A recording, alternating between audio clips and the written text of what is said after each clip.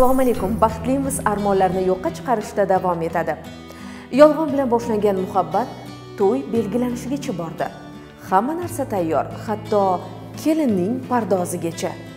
Ammo ammo kutilmaganda u kuyov g'oyib bo'lganini eshitdi. Tanlangan oq ko'ylak esa kiyilmay qolib ketdi. Xo'sh voqea aslida qanday bo'lgandi? Qahramonlarimiz hayotiy hikoyasini ularni o'zidan eshitamiz.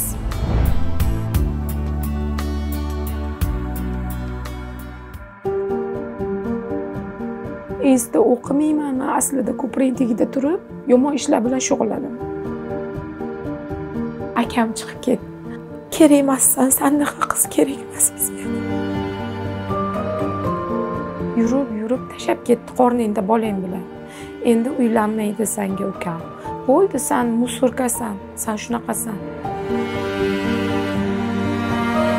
Уже man uchun hayot do'zaxga aylandi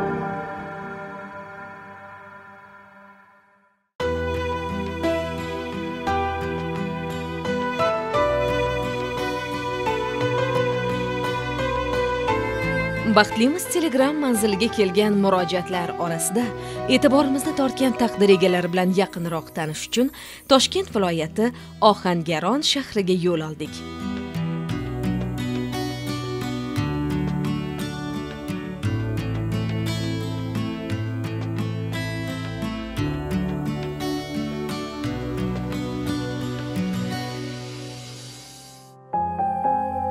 Ism familiyam usmonov mirhaydar. Lekin o'zimni bobur deyishadi o'zim to'qsoninchi yilgiman ohangaron shahrida tug'ilganman man podshoxo'jayeva saida bir ming to'qqiz yuz sakson yettinchi yilda e, parkent tumani krasnogorskiy qo'rg'onida tug'ilganman. Lekin biza yoshligimizda o'sha parkent tumanidagi nomdaniy qishlog'iga ko'chib ketib o'sha nomdaniy qishlog'ida katta bo'lganman. Olti oyligimda ota onam ajrashib ketishgan ayrim sabablarga ko'ra tog'am rahmatli olib ketgan ekanlarda o'zlarini qarmog'iga onam bilan man xuddi shu biz yashab turgan podyezdga qoraqalpog'istondan bir inson ko'chib keldi. Boshqa bitta kenes orqali sovchini jo'nataman deb shunaqa qilgan ekan. Onam rahmatli endi manga aytyaptilar mandan so'rayaptilar bobirjon nima deysan? San rozi bo'lsang turmush quraman agar yo'q desang yo'q. Endi man bitta o'zim edim jigar kerakmidi baribir uka kerak yo singil kerak? Man aytdim mayli man roziman. Turmush quring. Keyin turmush qurishdi. Boshida hammasi yaxshi edi. Singlim tug'ildi boshqa bo'ldi. Yashash davom etdik. Man o'zi huquqshunos bo'lmoqchi bo'lganman lekin mani yoshligimda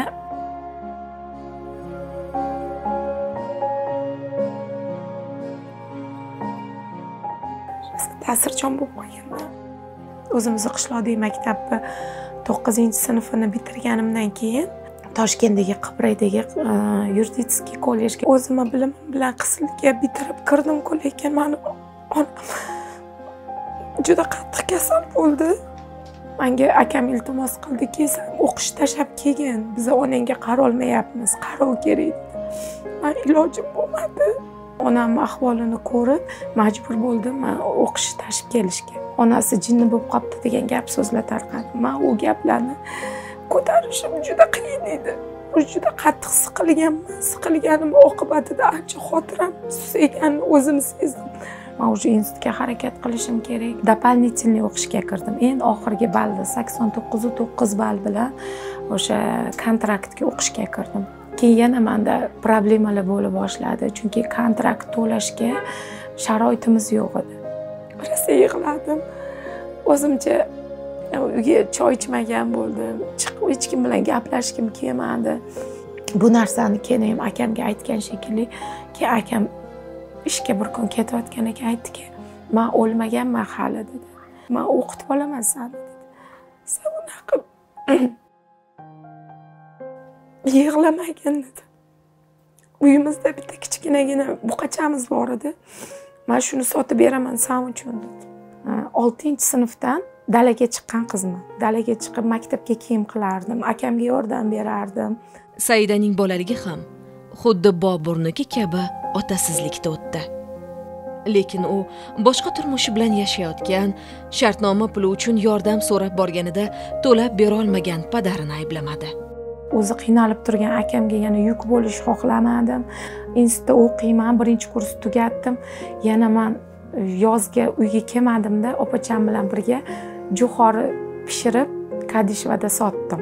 Yordam berishga harakat qildim. Hayotimni eng chiroyli paytlari studentlik payti bu qiyinchiligi bo'lsa ham oltin davrda. Ketimdan bolalar yuradi kursdoshlarim ham gapiradi qishloqda ham institutda o'qishyapti deb ancha odam kimlardir so'raydi. Lekin man o'sha xolamni uyiga keladigan bir yigitni yashirincha qiz bolada sevgi bo'ladiyu shunaqa narsa paydo bo'ldi u bola shahar bolasi bo'lgani uchun u uyalmasdida. Shunday aytib tashlayverardi xolam u tez tez o'sha man xolam uyda turganim uchun u tez tez keladigan bo'ldida uyga. Мороженныйlarga olib chiqib keladigan bo'ldi. Akamga aytdi man niyatim jiddiy dedi. Man bu qizga uylanmoqchiman.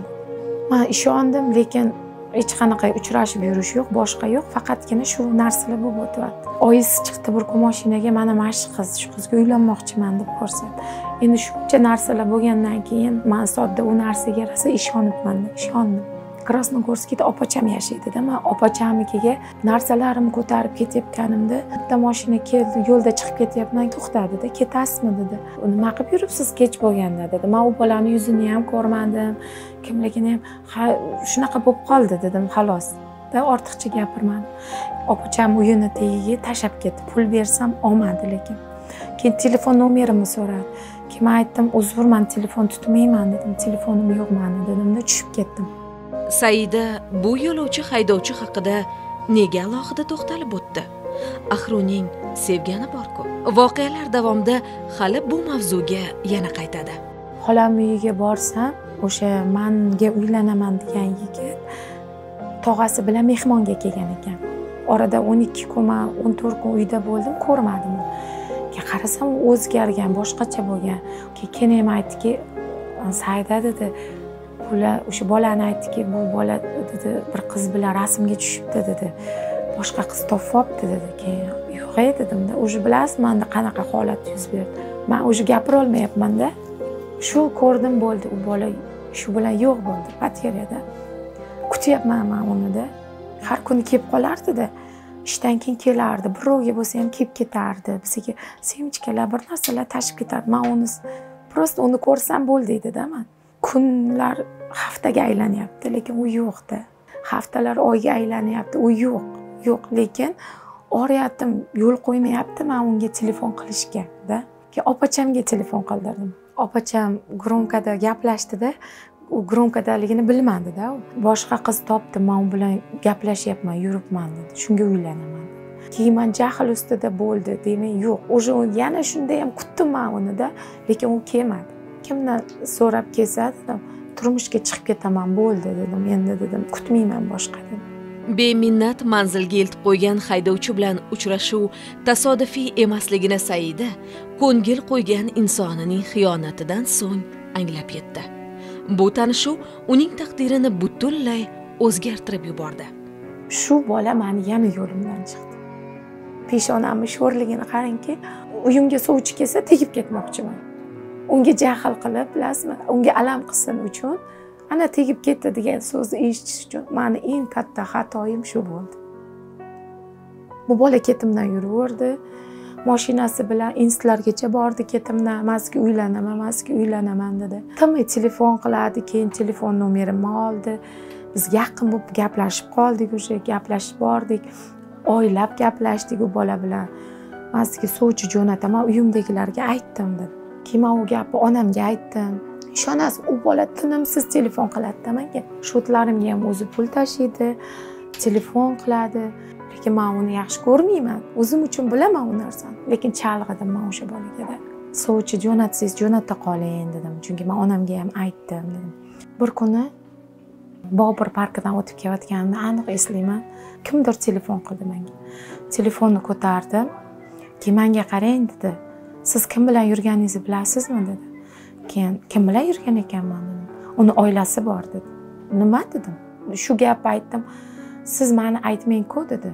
Uni oilasi bor dedi. Tushundingizmi dedi. Telefonni qo'yib qo'ydi. Sakson beshinchi yilgaman deganda aldaganda mani u bilasizmi yetmish to'qqizinchi yilgi bola bo'lgan. Unga telefon qildim. Kimdir manga telefon qildi desam ey o'rtoqlarim alami kelganda nomeringizni olibdida yashiribdida manga qasam iching dedim. Onasi o'tgan ekanda o'tgan onangizni o'rtaga qo'yib qasam ichsangiz ishonaman dedi. Qasam ichaman hozir yig'ilishdaman dedi. Biror hafta o'tar o'tmas bundan. Keyin уже mani uyimdagilar telefon qilyapti. San nima qilib yuribsan dedi. Aka oilali odam bilan gaplashib yurgan ekansan. Ayolini onasi borganda mani kuyovim bilan yurayotgan ekan. Mani kuyovim unga hamma narsa qilib berayotgan ekan. Hozir ikki qat ekan homilador ekan u qiz deb bo'lar bo'lmas gaplar mahallada ayollarga aytib ketgan. Ana shu bilan mahallada duv duv gap boshlangan. Man o'zim toshkentdaman. Shu bilan qiy boshlangan akam bolani oldiga borgan. Man bu yoqda shokdaman. U insonga ancha o'rganib qolgandim. Kirib bordim qishloqqa. Bilasizmi hamma mani qo'li bilan ko'rsatyapti. Xuddi man ularni nazarida bir yurib qo'ygan. Bilasizmi umuman iffati yo'q qizmanda. Shunaqa qizga aylandimda man. Gap so'z orqasidan vaholanki o'rtamizda hech qanaqangi ortiqcha narsa bo'lmagan faqat telefonda gaplashish ishonasizmi? Man shunaqangi bir hayosiz qizga aylandimda uyga borsam akam chiqib ketdi. Kerak emassan sanaqa qiz kerak emas bizga. Keyin man qayerga borishni bilmadim. Уже institut bitiradiganman institut tasholmayman man bilasiz qanaqa qiyinchiliklar bilan kirdim institutga man yana xolamni oldiga bordim sovchilar ham taqa taq to'xtadi ko'chadan so'rab turganlar ham уже man uchun hayot do'zaxga aylandi lekin u bola mani tinmay qo'ymadi tinmasdan institutimga boradi man bilasizmi u bolani nima qildim bordimda shunaqa jahlim chiqdi u bolani xoda olib olganman. Qo'limga shu darajada. Mm, Stressdamanda shu darajada uni yomon ko'ryapman shunaqa xoda bilan urdimda u bolani. Oyoqlariga qo'llariga urib tashlab samsa mani aldaydiga lekin u indamasdan turdi endi mani kechir mani kechir man seni juda qattiq sevaman mani kechir. Mani boshqa ilojim yo'q edi faqat shu gap. Tarqalgan gap so'zlardan keyin saida uchun o'z uyining eshiklari yopildi. Bu ham yetmagandek otam deb katta bo'lgani pochchasi ham undan yuz o'girdi. Xolam aytdiki sayda qizim otangni aytyapti bu yoqqa kelmasin har xil gap so'z bo'lyapti deb aytyapti. Man o'tdan ham mosvo bo'ldim. Boradigan joyim yo'q u yoqqa ham borolmayman уже man to'rtinchi kursman hech qanaqa обществоga turolmayman shaharda bir ikki marta qolmaganman. Keyin bizani брошенный domimiz bor edi krasnogorskda. Onam ona ekan ona dedim iltimos kaltda bering man institutni bitirishim kerak qandoq bo'lmasin dedim. Domga borib yashadim брошенный уже man homilador bo'lib yuribman institutda o'qimayman man aslida ko'prik tagida turib yomon ishlar bilan shug'ullanaman mana shunaqa gap so'z chiqib ketdi. Qizlari ham oldiga borsam ota onasi уже mandan qo'rqadigan bo'ldida. Yomon qiz buzilib ketgan buzuq qiz. Keyin mani uni uyidagilar qo'ymaslikka boshladi. Man u bilan uchrashishni to'xtatdim qarang. Hamma man undan yuz o'girdim. Lekin man ko'chada yursam ko'chada o'tib ketyapsan mani xotini ko'rib qolsa yuzimga tufurib ketadi kelib mani urib ketdi xotini keyin oxirgi urganida aytdim man senga shuncha aytdim ayol kishisan keyin manga man senga yordam beraman eringni qaytarishga. Manga san ham yordam ber man qiz bolaman birgalashib ish qilaylik desam gapimni eshitmadi. Opachalari akalari hammasi ular o'n bir kishi o'n birinchisi mani xo'jayinim ekan. Hammalari bir bo'lib kelishib mani talab ketaverishdi mahallada. Ustimdan kulib hamma man bilib turibman kimlardir o'tiribdida ular yig'ilishib o'tirgan ovoz eshitilib turibdi. Sanga ukam uylanmaydi sani shuncha mayna qilib yurib yurib tashlab ketdi qorningda bolang bilan. Endi uylanmaydi sanga ukam. Bo'ldi san musurkasan san shunaqasan. San man bilan ham uchrashasanmi? Keyin uchrashuvga chiq deb aytdi bu man bilan ham uchrashishga rozi bo'ldi. Demak bu o'zi buzuq qiz ekan deb mani nomimni buzuqqa chiqardi. Bilasizmi o'sha narsa manga shunaqangi yomon ta'sir qildi. Peshonamda shu bor ekan. O'sha man o'zimni oqlolmayapmanda bilasizmi уже yashab yasholmayapman o'lib o'lolmayapmanda unga telefon qildim aytdim uylanasanmi uylanaman. Uylanaman. To'y qilib oq ko'ylak kiygizib uylanasanmi? Ha uylanaman.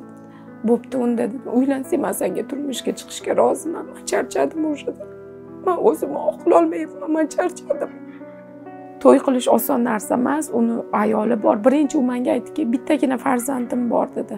Man hech qachon ko'nglim bo'lmagan unda dedi. Qarang shu yerda ham man aldagan ekan uni uchta qizi bo'lgan ekan. U aytdiki sani boshqa joyga uy olaman boshqa joyga shaharga o'tkazib qo'yaman. Man tadbirkorman hamma narsaga pulim yetadi. Sanga umuman hech kim borib anaqa qilmaydi dedi. San institutlar bitirib olasan oxiri mana o'qishing. Уже diplom olishimga bilasizmi bir oy ikki oy qolgan. Faqat yolg'on gapirganda ajrashmagan ayoli uyida ekan. Man aytdimki yo'q man nikohsiz sanga qo'lingni uchini ham tekkiztirmayman keyin man aytdimki man oq ko'ylak kiyish manga orzuman oq ko'ylak kiyib chiqib ketishim kerak mana shu uydan. Dedim keyin biz domda yashab yuribmiz keyin to'y belgilashdi. Onasi keldi. Uni o'gay onasi bor edi. Otasi uylangan. Shu ayol keldi. E, ikki tomon kelishdida. Shu kichkinagina o'tkazib yuborishsin to'y qilib. Mayli shu oq ko'ylak kiysin. Keyin u xarajatlari qildi. Biza borib qo'yliqqa borib oq ko'ylak tanlab keldim. Oq ko'ylak kiyganimda rosa yarashdida mangada qarang man ikkinchi xotinlikka rozi bo'lyapmanda. O'z xohishim bilan. Hamma narsadan уже charchaganimda man rozi bo'lyapman. Lekin vaholanki man u insonni aslida sevmasdimanda lekin man majbur bo'lyapman rozi bo'lmasdan ilojim yo'q. Yashashim kerak nafas olib bo'lmasa bilasizmi mani nomim chiqdi deb mani erkaklar umuman qo'ymadi. Demak bu qiz shunaqa ekan. Bo'laveradi bunga. Eshigini taqillatsak ham bo'laveradi. Man shu narsalardan hammasidan qutulish uchun shu yo'lni tanladim. Keyin man endi o'qishga kirolmadim. Onamni tashlab ketishgan singlim yosh. Singlimga qaradi o'zim ko'tarib o'zim katta qildim. Yoshligida o'zi ko'p narkoz olganlarda man olti oylik chaqaloqligimda ham onam narkoz olgan. Man qarovsiz bo'lib qolganman xolam emizganda xolam qaraganda. Moshina urib ketib moshina tagida qolganda suyagini mana bu yerda yo'q kechasi uxlolmasdilarda tongga yaqin soat to'rt beshlarda uxlardilarda ertalab soat sakkizgacha uxlardilar давление ikki yuz yigirma ikki yuz o'ttizga ko'tarib ketardi. Otaga hamma anaqasini sharoitini qilish kerak baribir endi onam sog'lig'i ko'tarmaydi. O'shaning uchun man o'zim ertalab ishga ketsalar ham mohli turib chopman tayyorlab berib ishdan kelsalar ham kiyim o'zim yuvib uylarni ham o'zim tozalab boshlab shu onamga mana shu bo'yinni ozgina bunday qilib egish уже bo'ldi уже ko'zini oldi qorong'ilashib ketyapti shu darajada bo'ldi. Bizni to'yimiz urush janjal bo'lmasin deb bizni nevichda dom отдых bor bilsangiz agar parkentda dam oladigan joy. Biz shu yerda borib gaplashib keldi o'zi borib hamma narsa tayyor videolargacha gaplashdi hammasi tayyor. Lekin to'yim kuni man qayta qayta telefon qilyapman o'chiq. Keyin telefonni bir mahal oldida tog'alarim xolalarim uylanmaysan deb qamab qo'ydi dedi. Yo olloh endi bu ham bormidi manga? Endi nima bo'ldim? Man kim degan odam bo'ldim. Qanday bo'lmasin chiqib keling dedim. Mayli yashamasangiz ham mayli keyin dedim. Shu xonaga qamab poylab o'tirishganda bitta xonaga qamab qo'yishib poylab o'tirishgan. Uylanmaysan u qiz sharmanda bo'lsin degan. Keyin ular hammasi uxlab qolganmi bu chiqib kelgan keyin. Chiqib keldim bo'ldi dedi. Ishonasizman nafas oldimda keyinda ungacha tasavvur qiling. O'rtog'im bilan taksida ketdikda lekin endi salonga kirdim. Endi makiyaj boshlashuvdi. Manga tinimsiz uyimdagilar telefon qilyapti. Opacham katta opacham sayda bo'ldi. Oq ko'ylakni olma qaytib kel kuyov yo'q dedi. Ey xudo dedim. Salonda o'tiribman qo'yliqda sharmandada yig'layapman. Ular manga makiyaj qilyapti man yig'lab yotibman. Shunday o'rtoqlari kelib olib ketib qolgan. Uylanmaysan bu qizga bas biz sani hozir akangni oldiga olib boramiz deganda olib ketishgan. Oq ko'ylakni tashlab yig'lab kelyapman taksidaman yig'layapmanda odamlar to'plangan to'yimga videochi kelgan kuyov yo'q. Yetib kelay deganimda telefon bo'ldi undan. Man chiqdim mani o'rtoqlarim akamni oldiga olib borishdi. San bizni tanlaysanmi yo o'sha qizni tanlaysanmi man u qizni tanlayman deb aytgan. Shu bilan hamma joy ag'dar to'nkar haligi ahvolda to'y bo'ldi. Bular bir to'yim masqaravozi to'yi bo'ldi. To'y uni urug'idan hech kim kelmadi. O'tirdik просто o'tirdik lekin man уже tamom bo'lganman. Hech qanaqa kiyim yo'q man o'tiribman. Manga aytishdiku kuyov ketib qoldi ko'ylakni olib kelma deyishdi. Man ko'ylakni tashlab keldim. Keyin shu oq ko'ylakka o'xshagan bir ko'ylak kiyib o'tirdimda yason tuson yo'q yig'laganman ishib ketganman umuman kelinlikdan darak yo'q. Lekin akam keldi shu to'yimgada. Akam bilasiz mani mana shunaqa qilib katta qilganda kontraktlarimni to'ladi lekin man hayotimdagi bir nomardni jahl qilib unga man juda katta xato qilib bir yolg'onchi moshinnikka duchor bo'ldim. И man akamni yuziga oyoq qo'ydim. To'yimiz o'tdi mani domga bizani o'zimizni uyga olib kelib tashlab u yoqqa qo'ymas ekan mani uyimga dedi. Mayli dedim o'zimizni uyimizga kelib yashadik. Xotini uchta bolasi bilan chiqib kelib o'tirib olaverdi oynani tagida. Man ularni ko'rgan sarim bilasiz ezilib ketamanda siqilib ketaman. Qanaqa hayotga uchrab qolganimni o'zim tushunmaymanda moskvadan keldim otam bilan onam rahmatli uylantiramiz sani deyishdi. Gaplashganim bor edi shu uylantirishdi. To'y bo'ldi ikki ming o'n to'rtinchi yil. Shu bilan to'ydan keyin onam bilan otam yashamaslik darajasiga ular qoraqalpoqqa ketdilar. Hozirgi otamizni uyida yashardik uch xona uyda ikki xona uyimiz turardi. Keyin bular onam bilan hozirgi otam maslahatlashishdida ikki xona bilan uch xonani sotib besh xonali oldik. Bu inson yoqda turmushi bo'lgan oltita qizi bo'lgan ajrashib kelgan. Keyin oltita qiz katta bo'lgan. Ota endi u ohangaronga kelgan vaqtlari ishlamagan boshqa qilgan endi keyinchalik ishga kirib pul topib boshqa qilib yurgandan keyin moshina oldik uy oldik. Qizlarga ota kerak bo'lib qoldi. Turmushini qilaverdida telefon qilib dada keyin dada keyin birga yashaymiz deb ongini zaharlayaptida bu besh xonali uyni o'zi onam rahmatli topganlarda u hozirgi otam onamni bozordaligini bilardi. И uyni egasini chaqirtirib borib notariusga borib o'zini nomiga оформление qilgan uyda uy nomlarida bularni o'rtasida zaks yo'qda shar'iy nikoh bor. Onam endi er xotin bo'lsa siz nomingizda bo'laversin mayli degan endi keyin oradan moshina oldik ular ham dadam nomida endi qizlari bu narsadan xabardor hammasini biladi. Ular zaharlaverdi o'rtaga anavi qilaverdi bu orada qoraqalpoq shu yurt yurtimni ko'rib kelay aka ukamni ko'rib kelay deb ketardi o'zgarib keladi. Onamdan ayb qidirish yo'q narsadan injiqlanish yo'q narsadan janjal. Shunaqa holatlar ko'p bo'lardi man ketdim qoraqalpoqqa deb kiyimlarini yig'ishtirdida manga bu narsa ber. Idish tovoq rustam rustam короче gilam pilam ko'rpa to'shak ortib berdim o'zim. Domlani oldida bergan va'dasini ustida turmadida keyin ketdilar shu bilan bir yilga yaqin yo'q bo'lib ketdi. Bu orada diplom oldim lekin o'sha diplomimga man ko'zim ko'karib bordim. Institutga kirishimda imtihon topshirishga man ko'zim ko'kartirib borganimda qiz bola bo'lib turib peshonani qarangda akadan kaltak yeyish kerak emas ekanda. Aka ota urgan qiz baxtsiz bo'ladi degan ro'zimga man shu ko'zimni ko'karib institutga topshirdim уже man diplomimga ham ko'zimni ko'kartirib bordim o'sha birinchi turmush o'rtog'im sevaman o'laman yo'laman deb yotgan odam manga uylangandan keyin bir yuz sakson grad uch yuz oltmish gradusga o'zgardi. U mani uradigan bo'ldi. Ayoli telefon qiladigan bo'ldi qizlari qiladigan bo'ldi. Man bilasizmi birinchi yangi yilimni ham bir o'zim o'tkazganmanda.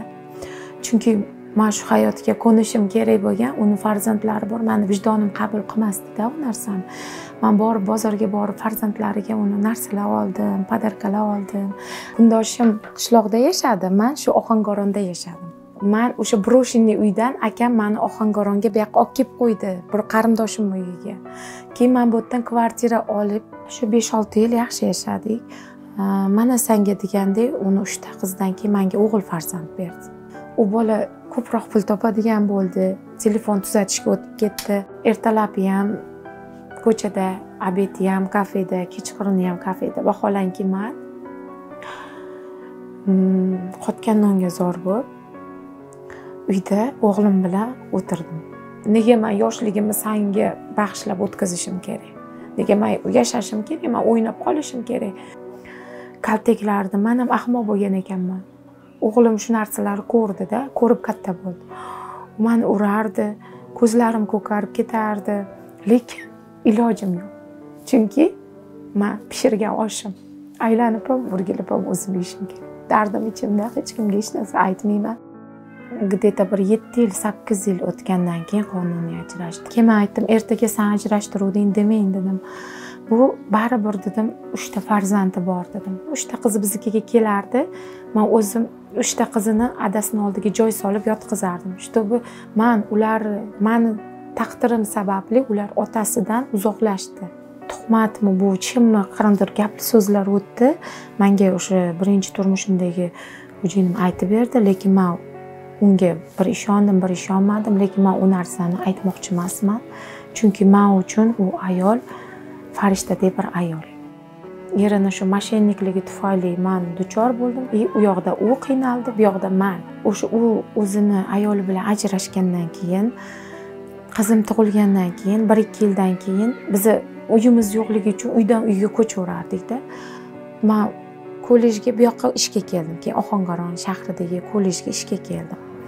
Bu kollejga ishga kelib man mm, yaxshi dars ko'proq dars olib yaxshi pul topadigan bo'ldim. Keyin xo'jayinimga dekretniyimga moshina olib berdim jiguli olib berdim. Shunaqa qilib sekin sekin um, harakat qildim чтобы uyim uchun. Lekin o'ylab qarasam faqat man harakat qilaveribman. Produktlar o'zim qilaman bolalarga kiyim o'zim qilaman. Kamiga uni bolalariga har tug'ilgan kunida tort kiyimlar qilib kelaman. Turmushimdagi inson faqat yeb ich kayf safo yuraverdi ko'chada. Boshimdan kaltaga urganimdan bir martasini onam ko'rdi. Holatimda onam bor bo'lib qoldi. Man shunaqangi mazam bo'lmadi. Man onamdan iltimos manga yordam beringlar. Man yashashni xohlayman degan jon talpasasidagi gapim onam eshitgan. Onam aytdiki bo'ldi. Man boshqa sani bu inson bilan yashashingni xohlamayman. Deb onam qarshi chiqdi. Lekin shunda ham man yo'q ona ikkita farzandim bor. Endi qonuniy erim shuncha gap so'zlar endi tindi. Endi bu ajrashmayman deb man onamlarga qarshi chiqaverdim har doim.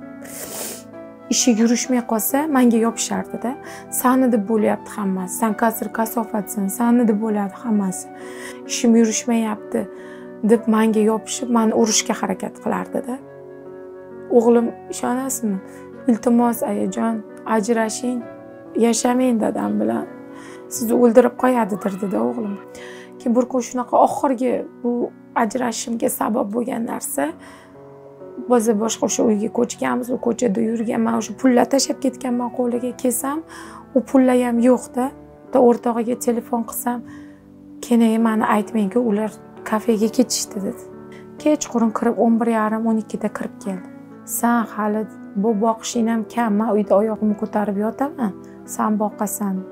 Boshlandi. San pandavaqi san pastkash qonli nonga to'ymagan ota tarbiyasini ko'rmagan akang unaqa onang bunaqa opachang unaqa. Boshlandi. Ishonasizmi? Ikkita qulog'imni shunday qo'lim bilan bosdimda. Shu payt homilador edim uchinchisiga.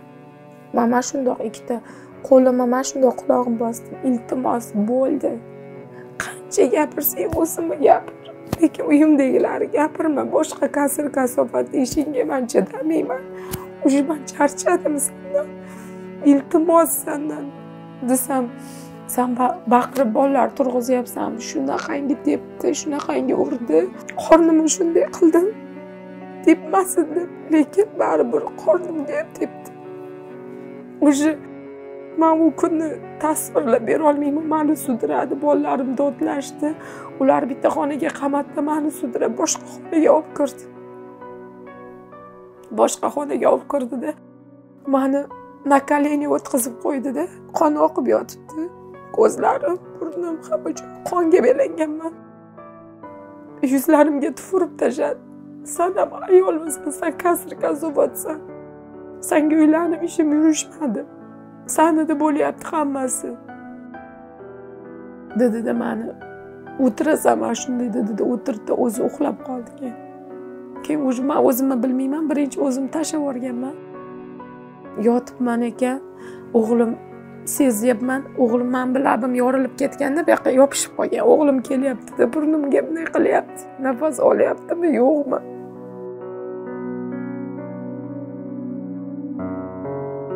bir martaga nima bu o'lib qolmadimi deb xabar olaman e, tongga yaqin chiqdimda. Vannaga kirdimda oynaga qarab o'zimni o'zim ko'rdimda ahvolim ужасga aylanib bo'lganman battar bo'l. Bu ham kam sanga dedim o'zimga o'zim. San yana qancha yashamoqchisan bu bilan? Yana qancha? O'lguningchami bolalaring birovni qo'lida qolgunchami bo'ldi qil endi. To'xtat bu hayotni. Bo'ldi yetar. Kim nima desa desin. To'xtat. Yashama boshqa. O'zimga o'zim mana shunday turib shu gapni aytdim. Ishonsangiz shunaqangi ko'karib ketgan ishib ketgan. Bo'lmadi keyin уже внутренний qon ketyapti mandan. Bo'lmadi keyin opachamman doktorga olib bordim. Olib tashlashdi bolani. Qon ketib qolgan. Manga tepgan payti. Bir oylar o'tgandan keyin уже yuzlarim tuzalgandan keyin keyin kelyapti. Shunda ham umuman aybini tan olish yo'q. Yashasang yasha shu hayot yashamasang yana katta ko'cha o'zing bilasan. Bu o'zi baqirdi menga baqirgandan keyin man shunaqa urib tashladim deb shunaqa qilib turaverdi. Onam aytdi bo'ldi. Agar shu bilan yashasang sani oq qilaman. Bo'ldi. Man boshqa mayli odamlar nima desa desin. Manga sani tiriging kerak. Kompyuterimni ochsam kelsam ichi to'la video video ko'rib uyda oyog'ini ko'tarib yotaverganda keyin xolam chiqarib yubordi uni. Bo'ldi chiqib ketdida lekin уже bir kundan keyin kelib yalinyapti onam uxlab oldida quvdi kerak emassan qizim o'ldirasan san. Yashamaysan boshqa yashatmayman san bilan u chiqib ketdi uydan man o'zim yashadim. Keyin man ajrimga berdim. Biz bu orada zapravkada magazin ochganmiz. Shu orada otam qaytib keldilar yana. Ikki ming o'n to'qqizinchi yil shu birinchi turmushim ayrim sabablar bo'lmadi xullas. Bitta farzandliman hali o'sha vaqtda o'zim yo'lda ketdim o'zim yo'limda ketdim qonuniy ajrashgani ajrashishimizga endi ancha vaqt ketdi o'zi shu orada hozirgi mana shu turmushimni mana shu ayolim bilan tanishib hayotim hayoti bunaqa bo'lib yurgan неразумелияlar bo'lib yurgan vaqtlari maniki ham shunaqa bo'lgan ketgan.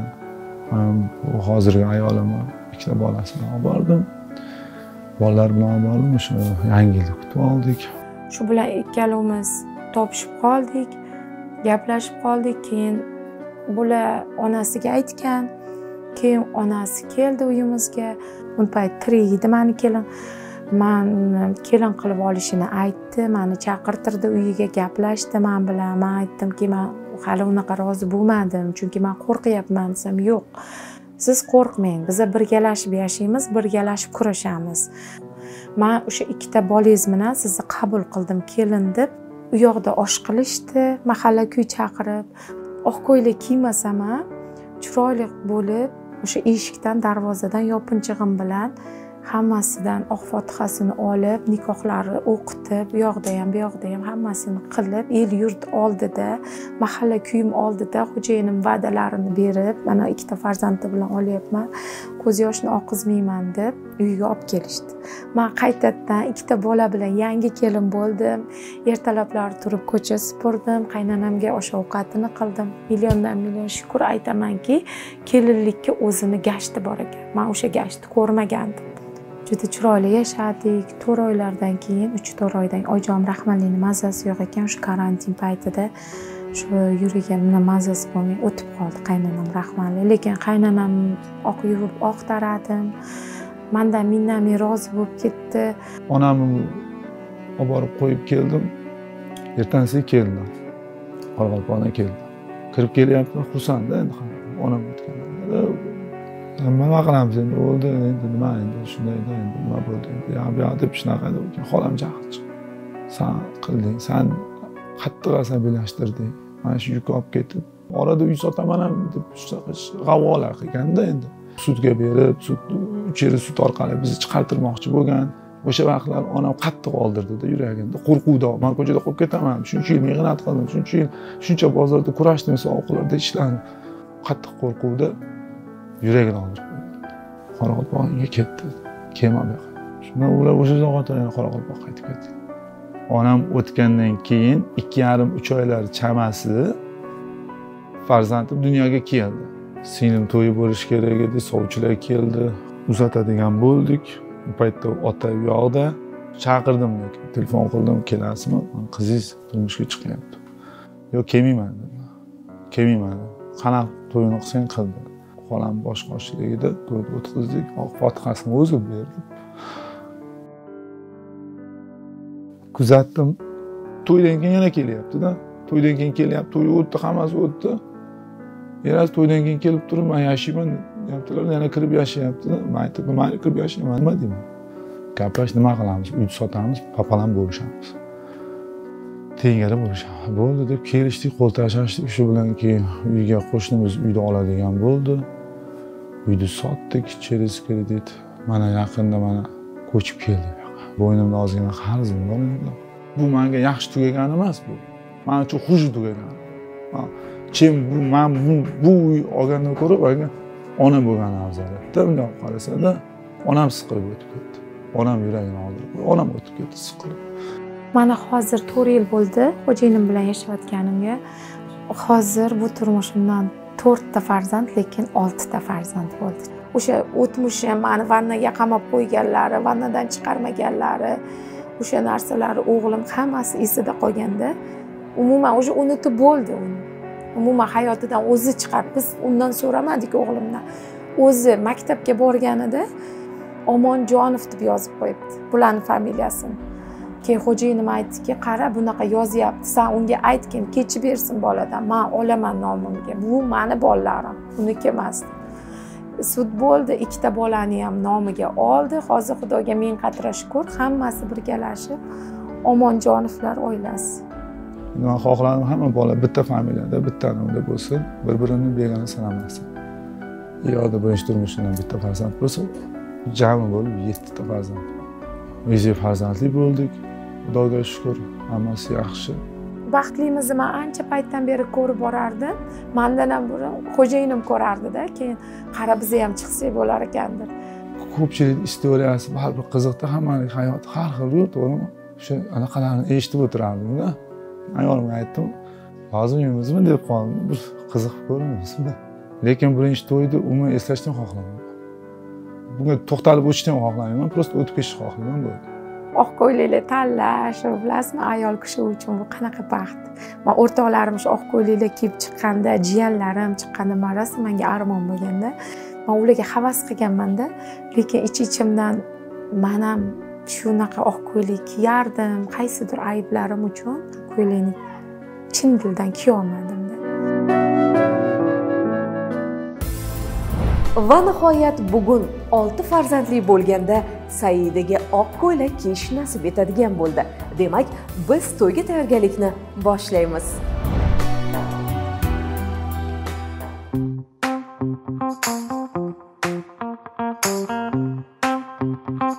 Kelinimiz saidani an'anaga ko'ra zarhal plaza kelin liboslari salonida kutib oldik.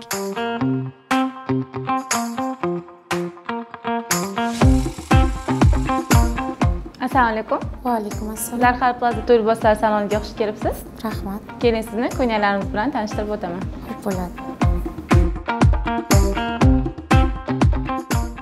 Sarxil saloniga bordik.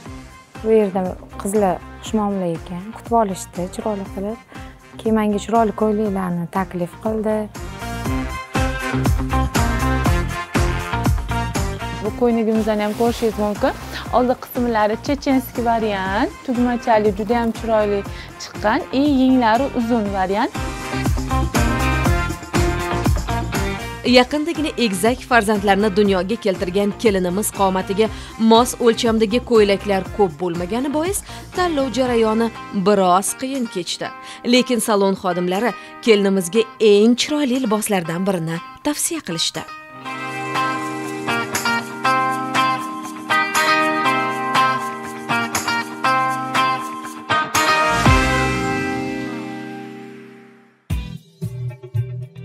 Ideal do'koniga yetib borgan boburjonda ham tanlov bo'yicha biroz muammolar yuzaga keldi. Lekin bizning doimiy hamkorimiz savob ishni oxirigacha yetkazish uchun aynan boburjonni orzusidagi kostyum shimni topib berishdi. Ideal saloniga bordik. O'zlarini bir kostyum shimni manga ko'rsatishdi. Niyatim ham xohishim ham o'zimga yoqqan anaqa ham qora edi. Undan keyin shu qora kostyum shimni so'radim. Ular menga razmerini bunaqa o'lchamimni topib berishdi. Yana mani chaqirishdi gazni berishmoqchi. Shu menejerni o'zlari chiqib o'zlari qo'lda gastel bilan ko'ylaklarni to'g'irlab tumanlarni qarab gazni taqib tumandan sovg'a dedi. Chin ko'ngildan dedi.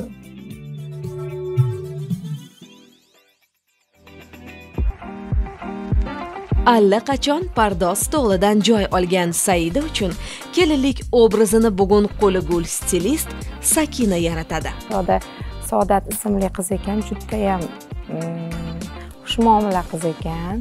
Man o'zim telefonda ko'rsatib bergan rasmimdagidek qilib e, prichoskamni ham makiyajimni ham xuddi o'zidek qilib berdi man juda o'sha yerdan kayfiyatim ko'tarilib xursand bo'lib chiqdim keyin man ikkita rasm ko'rsatdim. Ular ham o'zini fikrini bildirdi. Bu modadan qolgan. Ha bu klassический hozir modada dedi. Keyin o'zimga ham shu o'zi yoqib turuvdi mana shuni qilib bering iltimos dedim xuddi o'zini qilib qilib berdi. Man juda yam xursand bo'ldim qizdan. Ancha farq ko'rdim. Unda umuman boshqacha e, bunda yosharib ketdim.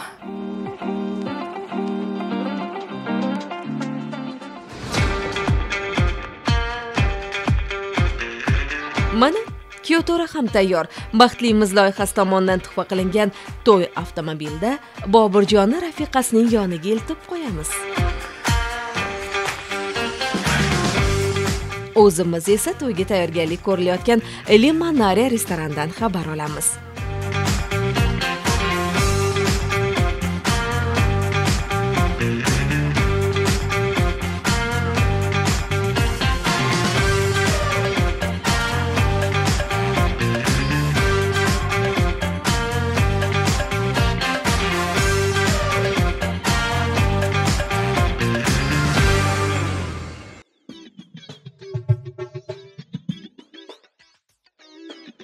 Seminariyaning muhtasham zali. Bugun yana bir xayrli to'yga guvoh bo'ladi. Gullar bilan bezangan kelinko'v sahnasi va chiroqlar yog'dusiga burkangan to'yxona bobur va saidaning xizmatida.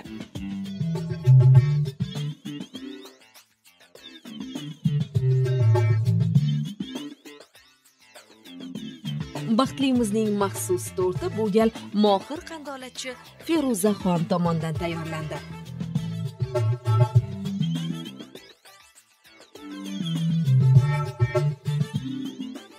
Mehmonlar uchun bayramona dasturxon bezatildi. Hammasi joyida. Endi kelin kuyovning yaqinlarini taklif etsak bo'ladi.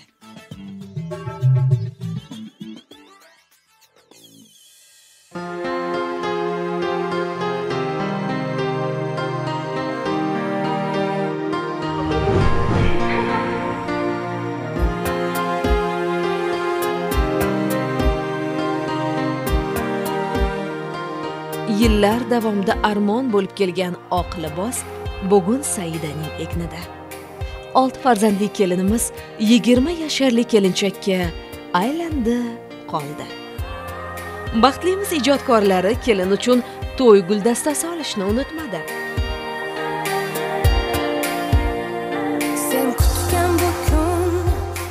Zarhal saloniga bordik.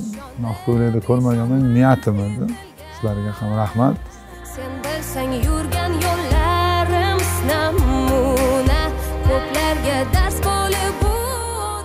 qadam tovush eshitilgan sari man уже hayajonlandimda keyin ularga salom berishim mana birinchi marta baribir oq ko'ylakda salom berish boshqacha bo'lar ekanda bilsinlar nigohlarimiz ostiga boqib kerakmas go'zallashib ketsin ham yarashib bizdan go'zallashib ketsin baxtingiz sog' salomat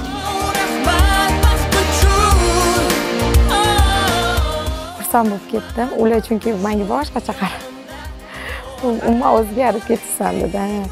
Judayam go'zal bo'lib ketibsan deb aytdi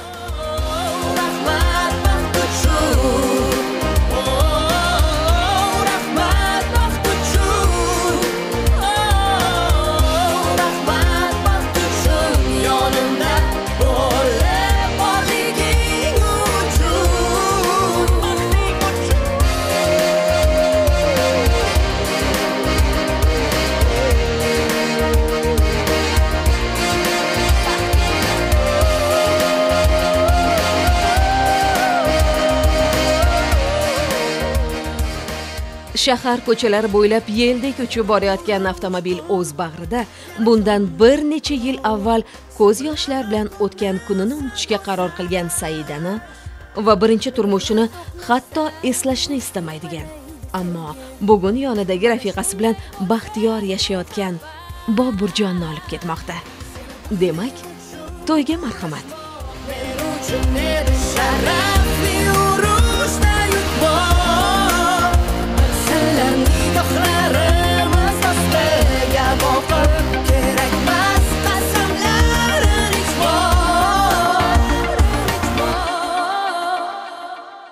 assalomu alaykum qadrli mehmonlarimiz. Sizlarni ko'rib turganimizdan juda yam xursandmiz. Keling azizlar hammamiz hozir birgalikda hayajonda turgan juftligimiz. Boburjon va saidaxonni qarsaklar bilan tabassum bilan qarshi olamiz. Mana ular marhamat. Ushbu taronamiz esa aynan bizni baxtli yoshlarimiz uchun. Ne sinovlardan o'tgan bu ne sabrlardan o'tgan bu.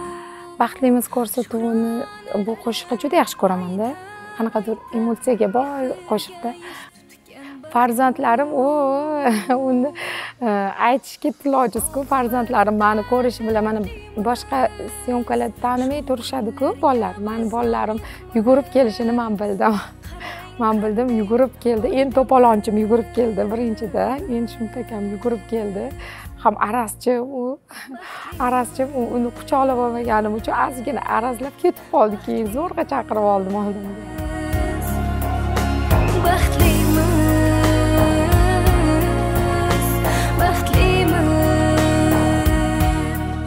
onajonim ko'zlarida manga man orzu qilgan orzuyimga yetishganim uchun shukronani ko'z yoshi bilan birga qo'shilgan holdagi shukronani ko'rdim onamni borlariga shukur umri uzoq bo'lsin.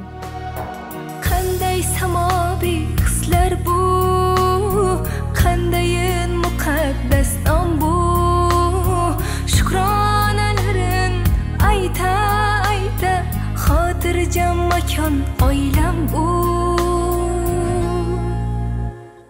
Vafolikda sharafli to'yxonaga keldik. Chiroyli kutib olishdi. Aytilgan hamma shu yerda qidirganimni to'g'risini topolmadim alloh rahmat qilsin. Endi onamlar erta onamdan o'tib ketdilar. Agar hozirgi mana bu holatni ko'rganda balkim o'zlaridek xursand bo'lib ketardilar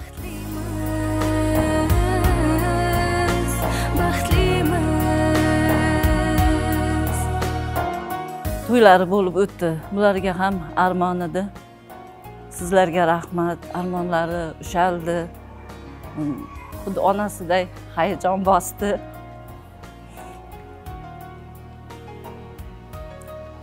Uzr. Ular uchun rosa xursandman. Hamma sevinch kulgi qarsaklar bilan qarshi oldi lekin onalari yodimga tushib ko'z yoshi bilan qarshi oldi. O'z o'g'limni to'ylarida bunchalik hayajon bosmagandi lekin bugungi to'y bal boshqacha bo'ldi.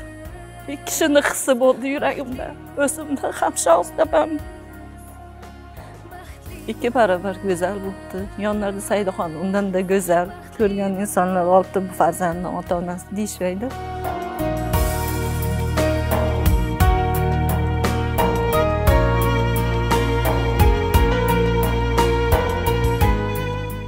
Boburjon saidaxon sizni tabriklaymiz.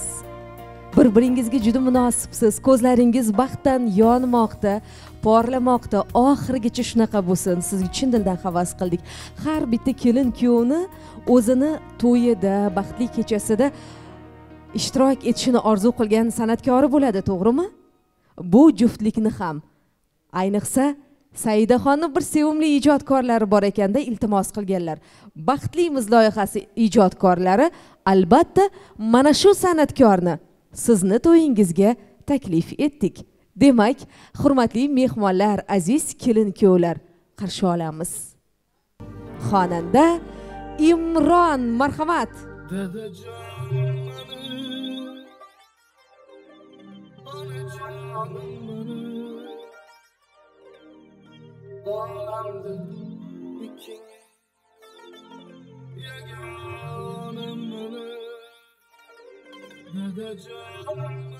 Chiroyli o'tdi onam yaxshi ko'rgan artist keldi chunki o'sha artist variantlarni o'zim yaxshi ko'rgan artistni aytganda o'sha albatta onajonim imronni aytaman dedim man yaxshi ko'raman lekin onam mandan ham ko'p yaxshi ko'radida. Telefonlariga faqat shu nevaralariga manga imronbek muzikasini qo'shig'ini yetkazib bergin deb yuradida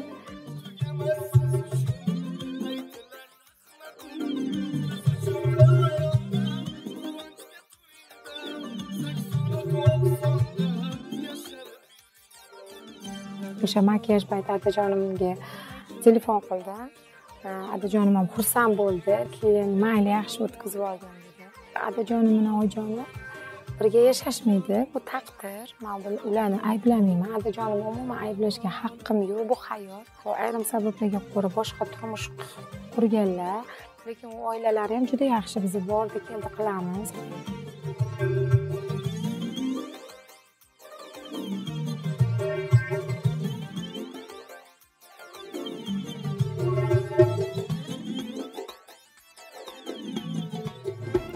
Man mana o'g'lim imronni yaxshi ko'rardi shu inson qatnash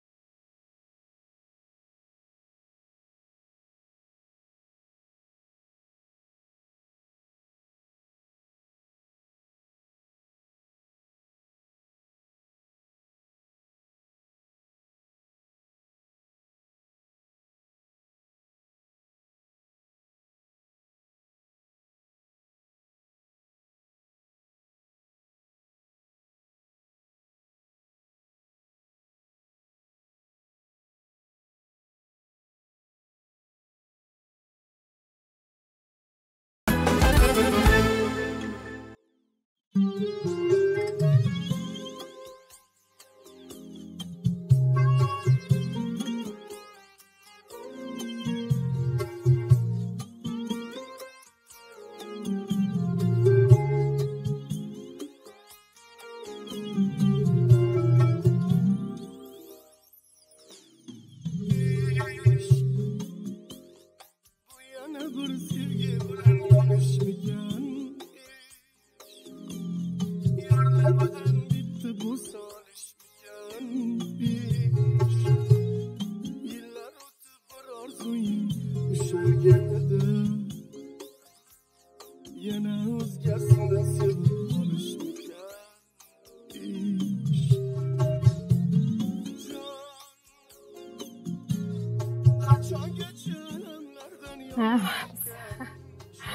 vals ketishim biroz qiyinroq bo'ldi chunki ko'ylagim katta bo'lganligi uchun ozgina qiynaldim keyin xo'jayinim bilaman o'zi uyalchi uyaldi biroz.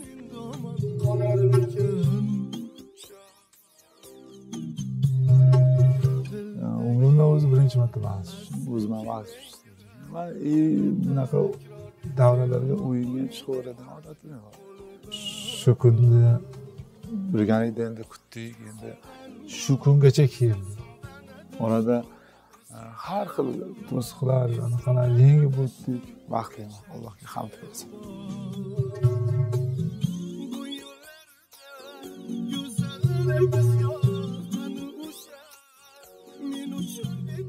to'rt yedirayotganda to'rtimizni amallab kesib oldik juda shirin to'rt ekan. Malinali ekan manimcha man shunisini yedim farzandlarim hammasi ayniqsa o'rtancha o'g'lim shirinlikni yaxshi ko'radida qayta qayta kelib yotibdi bo'ldi o'g'lim hammasiga yedirdik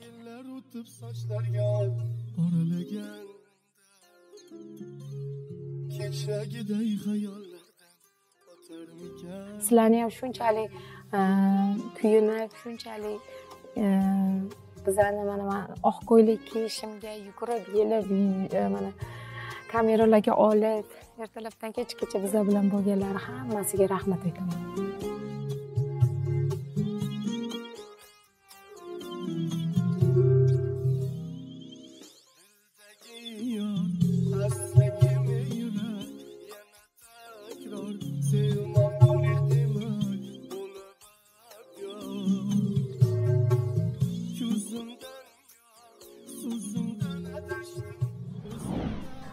Loyihasini bir sonini suratga olish uchun jamoamizni bir qancha xodimlari mehnat qilishadi va bir necha kunlab ovora bo'lishadi.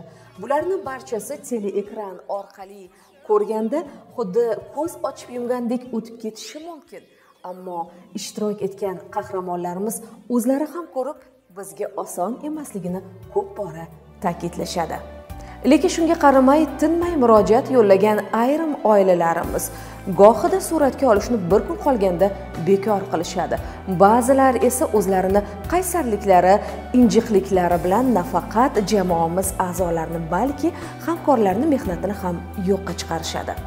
Nima bo'lganda ham loyiha ijodkorlari o'z ishini sidqi dildan bajarishadi. Sovuqqonlikka esa aslo yo'l qo'yilmaydi. Chunki baxtlimizni maqsadi sizni bir kuningizni baxtga to'ldirib orzularni ushaltirish armonga esa o'rin qoldirmaslik. Azizlar agar to'y borasida sizni ham armoningiz bo'lsa unda bizga telegram orqali murojaat qiling. Biz siz bilan bog'lanamiz. Baxtlimiz armonlarni yo'qqa chiqaruvchi yagona loyiha.